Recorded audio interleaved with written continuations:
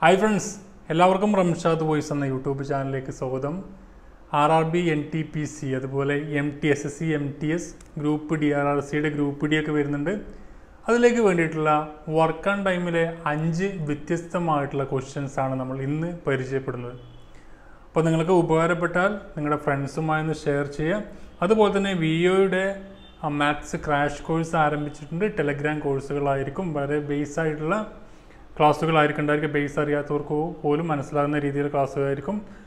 അത് ബേസ് കഴിഞ്ഞ് കഴിഞ്ഞാൽ പിന്നെ പത്ത് വർഷത്തെ കേരള പി എസ് സി ചോദിച്ചിട്ടുള്ള എല്ലാ മാത്സിലെ ക്വസ്റ്റ്യൻസും ഡിസ്കസ് ചെയ്യുന്നതാണ്. അപ്പോൾ ജോയിൻ ചെയ്യാൻ താല്പര്യമുള്ളവർ താഴെ ഡിസ്ക്രിപ്ഷനിൽ ലിങ്ക് കൊടുക്കുന്നുണ്ട് ഡൊമോ ക്ലാസ്സിന്റെ അത് ക്ലിക്ക് ചെയ്ത് കഴിഞ്ഞാൽ കൂടുതൽ വിവരങ്ങൾ ലഭിക്കുന്നതാണ്. അത് അതുപോലെ തന്നെ എൻ ടി പി സിയുടെയും എം ടി എസിന്റെയും ഗ്രൂപ്പ് ഡിയുടെയും റീസണിങ് ക്ലാസ്സുകളും ആരംഭിച്ചിട്ടുണ്ട്. കൂടുതൽ വിവരങ്ങൾ അറിയാൻ ഡിസ്ക്രിപ്ഷൻ ബോക്സിൽ ലിങ്ക് ക്ലിക്ക് ചെയ്യാം. നോക്കാം നമുക്ക്. ഒന്നാമത്തെ ക്വസ്റ്റ്യൻ നോക്കുകയാണെങ്കിൽ twelve man complete a work in ninety days thirty days after they started work two men left and eight men joined how many days will it take to complete the remaining work പന്ത്രണ്ട് ആളുകൾ ഒരു ജോലി തീർക്കുന്നത് തൊണ്ണൂറ് ദിവസം കൊണ്ടാണ്. മുപ്പത് ദിവസത്തിന് ശേഷം അവർ തുടങ്ങിയപ്പോൾ മുപ്പത് ദിവസം അവർ അവർ ഒരുമിച്ച് വർക്ക് ചെയ്തു. മുപ്പത് ദിവസം പന്ത്രണ്ട് ആളുകൾ വർക്ക് ചെയ്തതിന് ശേഷം എന്ത് ചെയ്തു? രണ്ടാളുകൾ ലെഫ്റ്റ് അടിച്ചു പോയി. അതിന് പകരം എട്ട് ആളുകൾ ജോയിൻ ചെയ്തു. അങ്ങനെയെങ്കിൽ എത്ര ദിവസമായിരിക്കും ഇനി വേണ്ടത് എന്നാണ് ചോദ്യം. ഇപ്പോൾ ഇവിടെ പന്ത്രണ്ട് ആളുകൾക്ക് വേണ്ടത് തൊണ്ണൂറ് ദിവസമാണ്.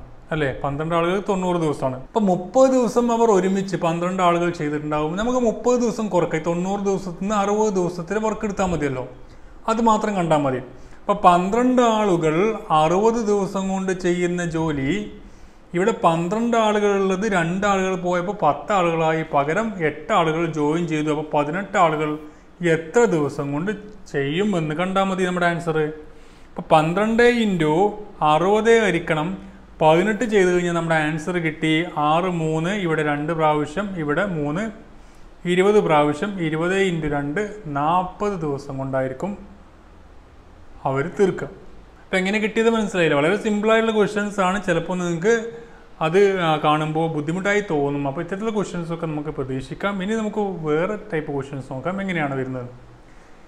A can do a piece of work in twenty days B in fifteen days with the help of C the finish work in five days in how many days C alone can do the same work A എന്ന് പറയുന്ന ആൾ ഇരുപത് ദിവസം കൊണ്ടും B എന്ന് പറയുന്ന ആൾ പതിനഞ്ച് ദിവസം കൊണ്ടും സി എന്ന് പറയുന്ന ആൾ എത്ര ദിവസം കൊണ്ടാണ്? മുപ്പത് ദിവസം കൊണ്ടും ചെയ്യുന്ന സോറി അഞ്ച് ദിവസം കൊണ്ട് എ ബി സി കേട്ടോ A plus B plus C അഞ്ച് ദിവസം കൊണ്ടും ചെയ്യുന്ന ജോബാണ്.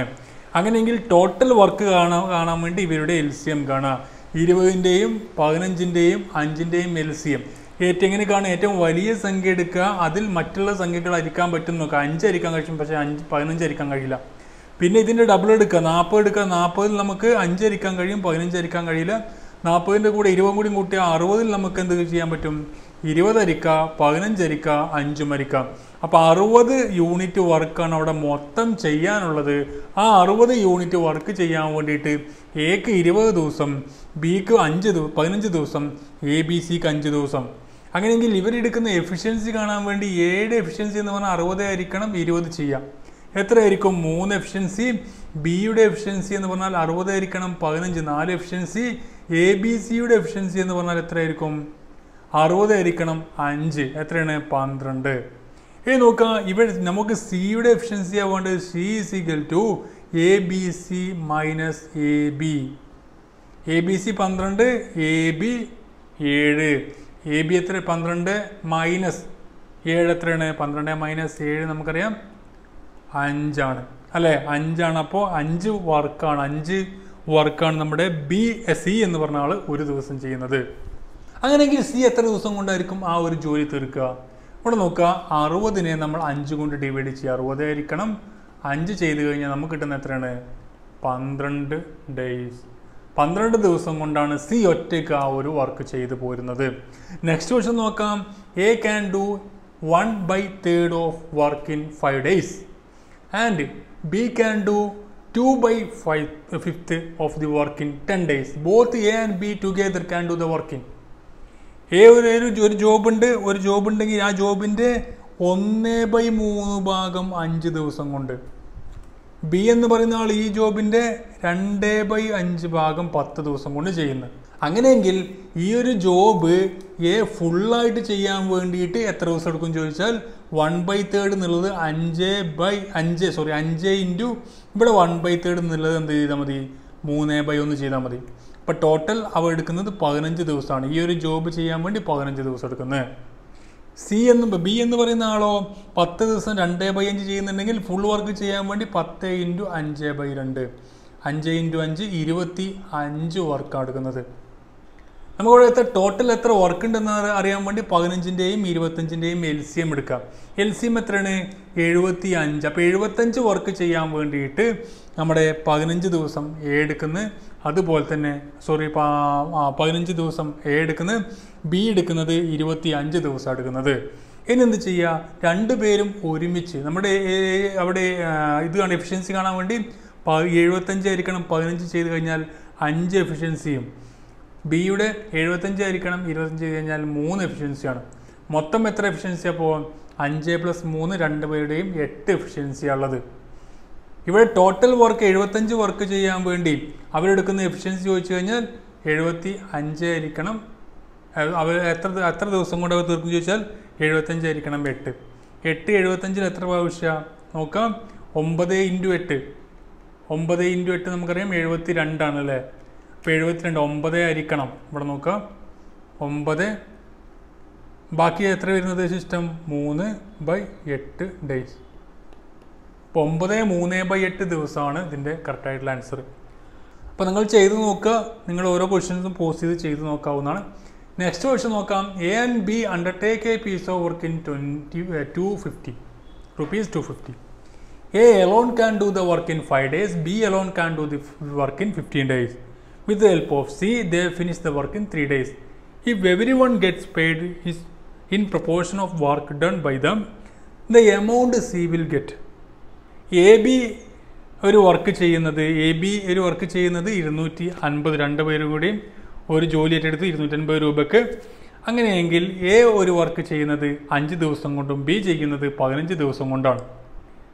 അവരുടെ സിയുടെ എളുപ്പം കൂടി ഉണ്ടെങ്കിൽ അവർ മൂന്ന് ദിവസം കൊണ്ടാണ് ആ ജോലി ചെയ്യുന്നത്. അങ്ങനെയെങ്കിൽ അവർക്ക് എത്ര രൂപ വെച്ചായിരിക്കും കിട്ടുന്നത്? സിയുടെ റേഷ്യോ സി സി എന്ന് പറയുന്ന ആൾക്ക് എത്ര രൂപ കിട്ടും? ഇരുന്നൂറ്റൻപത് രൂപയിൽ എന്ന് ചോദിച്ചത്. അപ്പോൾ പലർക്കും തെറ്റിപ്പോകാറുണ്ട് ഇതിന്റെ റേഷ്യോ എടുക്കുമ്പോൾ നമുക്ക് നോക്കാം. എ എന്ന് പറയുന്ന ആൾ അഞ്ച് ദിവസം ബി പതിനഞ്ച് ദിവസം എ ബി സി മൂന്ന് ദിവസം.